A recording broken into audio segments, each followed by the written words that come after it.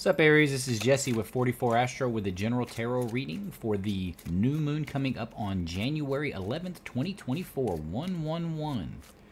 That is activation. 111 is representative of the Trinity, the Father, the Son, and the Holy Ghost. Um, really, I believe it's a quaternity because either that or the um, Holy Spirit is, you know, the feminine aspect, which is arguably true.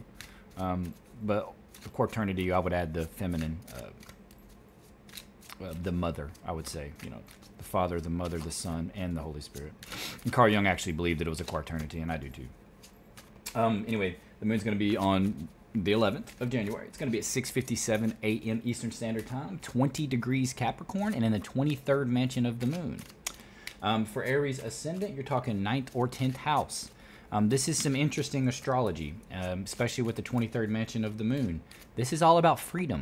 This is all about getting free. So if you're trying to get free from a situation, um, this is the t- right there. This is the time to do it, especially with the sun is going to be in exact conjunction. I mean, zero orbit is going to be sitting on the sun. The moon is, and it's going to be touching in a trine harmoniously Uranus, which is change, but it's in Capricorn. So you're talking being very practical, make order from the chaos type thing, but change nevertheless, because Uranus would bring in change.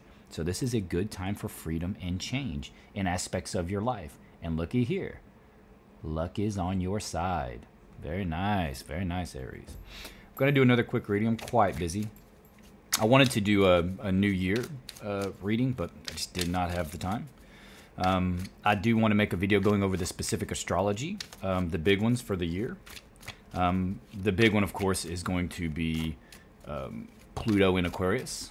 Last time Pluto was in Aquarius was in the 1700s.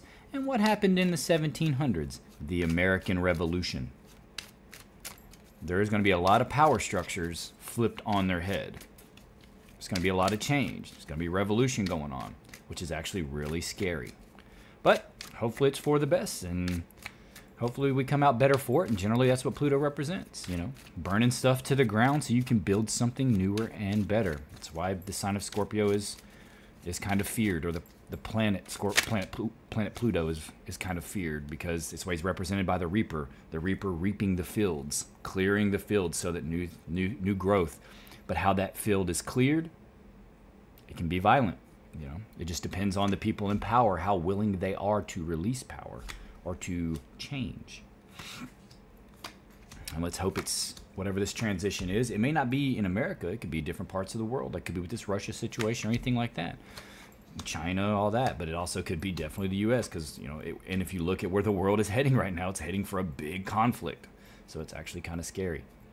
But I mean, I'm not going to be all sunshine and rainbows with you. I'm going to give you the truth, what I see and how I feel about it, um, because the truth is very important. Anyway, um, you know, this is your current situation, or what you're asking about seems to be your home, your home, your your abundance, your family. You know, it, it's crossed by some kind of. Uh, it could be a child. Um, you could be asking about a child, or there's a child in your life. Maybe you're having trouble with your child or it's just um, you want to do what's best for your child. So you feel like um, you're asking, like, you know, how do I do what's best for my children, or something like that. Or this could be like an idea. This could be like a, something you're really passionate about, and you're hoping that it's going to be profitable. At least that seems to be the situation. Um, you know, crowning you in your conscious mind, you know, it's celebration. I mean, we did really just do the celebrations, right? With all the the New Year and Christmas. Maybe maybe you're still celebrating, or maybe you're going to some kind of celebration soon for whatever. Um, you know, for some of y'all, uh, you could be like going to someone's birthday party or somebody's wedding or anything like that. Some kind of celebration. As it's on your mind, something you're thinking about, some kind of social social gathering. You have luck on your side, so that's good, Aries. You know, behind you, it looks like you've been planning. Now, like I said, this mansion of the moon is all about freedom. And you know with the Capricorn influence, you know you're it, you're going to be making plans, practical plans, maybe about a change you're trying to make, something you're trying to free yourself from, whether it be like a relationship or a job or anything that you're trying to free yourself, or just bringing uh, freedom from the chaos in your life. You know what I mean? Like you're bringing order to the chaos type of things. And we all have chaotic uh, situations and things that happens in our life. And maybe you're just getting more organized, that type of thing. Your unconscious influence is hard work.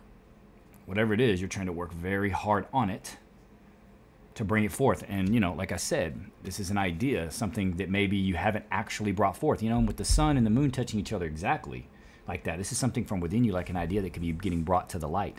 And you're hoping that it brings you this. Um, but you're going to have to make a final judgment on something. So, some kind of decision in the near future you're going to have to make. And if it is about freedom or about change, or it's about some kind of social gathering you're going to, you're going to need to make a uh, you're going to make have to make a final decision about whatever this is like whether you're going to it or whether you need to bring a gift or anything like that. Or a final decision about you know what's going on in your life right now. If there's something you're trying to free yourself from. Or maybe you're trying to um, you're trying to work harder this new year. Maybe your res- res- uh, resolution is to like whatever this idea is to start you know bringing it forth and, and making profit with it. Or you're just trying to have a happy home. You know maybe you're worried about your kids like i said and you're trying this new year you're like look i'm organizing my home. I'm getting i'm getting you know a happy and and better life. And i'm you know i'm making that final decision to move forward in it. And you know you know this is your current situation looks like a happy home. So you may be reorganizing in some way. Like it looks like you know two tens here. And then this is 10 10 20 so some kind of completion could be happening for some of you which is it's a good thing though. Whatever this is, whatever this completion is, or whatever you're accomplishing, luck is on your side, so that's very good. Something big. I mean, maybe some of you are getting married. I mean, got the Hierophant here, or you're joining like a big company, like uh, you're about to, or you may be about to start something big, something like a uh, whatever this idea or this this creation that you have, maybe something big. You're trying to bring it forth. Maybe you're bringing it forth like on social media or something like that and you want to get it discovered because this is what you in your environment. Like in your environment, you have, you know, you know, company. This could be, this could be like big organizations. I mean, it could be God, right? This could be spiritual influence, like in your life. It could be churches. It could be anything like that. Like this is this is the Hierophant's the, the messenger in between us and the gods, right? At least that's what it represents. So it could be something like that. It could be some kind of um, uh, spiritual pursuit. Maybe that's the final decision you're making. You want to uh, spend more time in your spiritual practice. I know I'm trying to do that for sure because I've uh, neglected it a lot, and I'm getting trying to get back into it a lot more, a lot more meditating, a lot more spiritual, spiritual practice. I'm not to get into specifically my spiritual practices, but um, it's good. You know, the advice are, you know, helping or hindering you kind of situation. Heartbreak. So, like I said, you could be separating from someone or some, you know, this I mean it's a heartbreak card, but it's all positive. Like like it's a good thing to do. Like so if like you're you're in a relationship, I mean, it's like you're you're deciding on a new dynamic for your home life. That's what it feels like. A whole new dynamic, right? happy home. Is also a happy home. Like you're you're it's like a new dynamic. You're making a final decision to change how things are at your home. Maybe more organized, you know, but it I mean, I'd say watch out for your actual physical health, like your heart health. But this looks like it could be like a separation, but it's it's like in the advice helping or hindering you, and it's maybe it's helping, not hurting, because this is all positive cards around it, and the outcome is walking away. And it's interesting because this goes right on the theme with this mansion of the moon and what the astrology is, right? So it's some kind of change happening. Some like some major change that you're making. It could be in family, could you know, it could be work too, because this is the unconscious influence. But behind you, it's like you've already been planning. It's like I've been waiting on this. Like, and it's it's like something's gonna happen, and you're gonna make that final decision. Like the fi- the, like the camel, or what what is it? The um, the straw that broke the camel's back, that type of thing. Could be something like that. It could be like the last straw, but it doesn't look bad. It looks like it's what's best for you. It's like this is what you want, or it's like your current situation, which seems like a happy home. Maybe, you know, maybe you're separating from someone and you're going to get with someone else, like marry someone else. I mean, situations like that can occur. It could be already a three party situation going on. This could be like a someone or maybe you meet someone at like a social gathering and you're like, "Oh, I really like this person." you know, I mean, jumping into marriage that quickly. I mean, I, I mean, I've seen it happen and be successful, but I'd I'd say do your due diligence. But and it could be somebody like the social gathering gets you an opportunity at like a big company too. You might meet someone and it's like they give you an opportunity for work, and then you can use that to get enough money to to move forward. Maybe separate from someone or some situation, walk away from some situation that hasn't been the healthiest because it you know it looks like it's breaking your heart. Like something's been weighing on you, but the outcome is you walk away.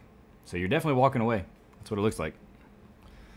But luck is on your side, so it's like some fortuitous circumstance comes forward and helps you. Either either it's it's either money or like a job opportunity, something like that. Or some or like your idea, this idea that you have does take off and somehow you start like being really successful. And you know, the moon touching the sun exact orb, you know, go within. It might give you what you need. A little meditation might give you exactly uh, the the in, insight and influence you need for this anyway, that's all I have, Aries. This is another short reading. Um, please consider liking, subscribing, and commenting. Um, it does help the algorithm, um, at least from what I can tell, especially the comments. Um, and I'll do my best to always respond if I can, and I pretty much will because I always I don't have like a ton of comments, so I'll, I'll respond. At the very at the very least, I'll give it a like. Anyway, I wish you the best and happy New Year, and um, whatever this change is, it seems like it's going to be harmonious and it's going to uh, be beneficial in the end. Bye bye, Aries. Hope to see you here again.